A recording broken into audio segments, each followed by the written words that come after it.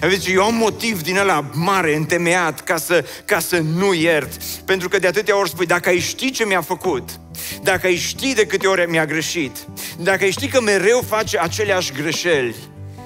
Și am auzit asta când am stat de vorbă cu oameni, într-un context sau altul, de nenumărate ori. Eu am obosit să mai iert. Am obosit să mai iert. Și vreau să fac aici următoarea observație. Nu spune am obosit să mai iert, pentru că neiertarea te obosește mai mult decât iertarea și o să-ți demonstrez imediat această afirmație. Nu spune am obosit să mai iert. Dragilor, întotdeauna vor exista uh, pricini să, să te plângi de cel de lângă tine. Oricât de mult te străduiești, întotdeauna va, vor exista acele greșeli și uneori sunt greșeli mari, alteori sunt greșeli mici.